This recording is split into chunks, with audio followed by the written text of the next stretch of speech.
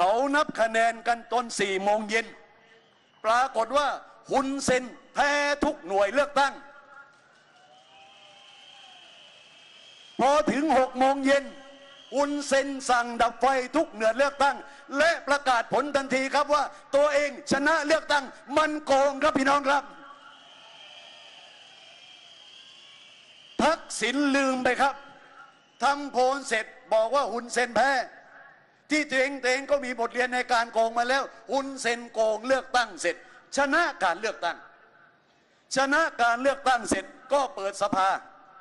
ปรากฏว่าเหลือพักการเมืองที่ชนะมาสองพักคือพักของหุนเซนกับพักของสมรังสี ส่วนพักอื่นๆ แพ้หมดครับ ไม่เหลือแม้แต่พักเดียว หุนเซนเปิดประชุมสภา ปรากฏว่าพักของสมรังสีประท้วงไม่ยอมเข้าประชุมสภา หุนเซนจัดตั้งรัฐบาลพักเดียว สมรังสีไม่เข้าร่วมรัฐบาล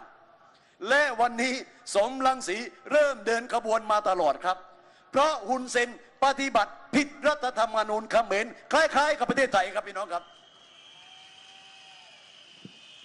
รัฐธรรมนูญเขมรเขากำหนดครับว่า สภาจะเปิดประชุมได้ ต้องมีพักการเมืองอย่างน้อยสองพักเข้าประชุม ปรากฏว่าเหลือพักคุณเซนพักเดียว ประชุมขัดกฎหมายรัฐธรรมนูญครับพี่น้อง สมรังสีจัดประชุมในสวนสาธารณะ ปรากฏว่าประชาชนมาร่วม มีคนมาบริจาคเงินใส่กล่องให้กับสมรังสี คล้ายๆกับสถานการณ์ที่เกิดขึ้นในประเทศไทยครับพี่น้องหุนเซนประกาศห้ามชุมนุมในสวนสาธารณะ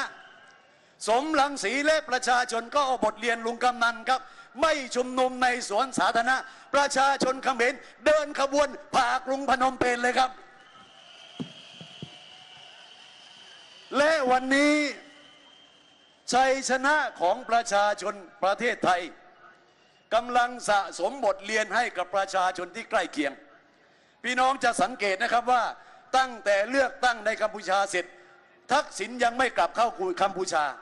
และยืนยันได้ครับ พวกที่อ้างว่าหนีไปกัมพูชากัมพูชา เดี๋ยวนี้พี่น้องครับ ยืนยันได้ครับ ไอ้โกตียังไม่ถึงกัมพูชา เพราะนายมันยังไม่กล้าไปครับพี่น้องครับ ขอบคุณมากครับ เดี๋ยวเราเคารพธงชาติพร้อมกันนะครับ พี่น้องครับ สวัสดีครับ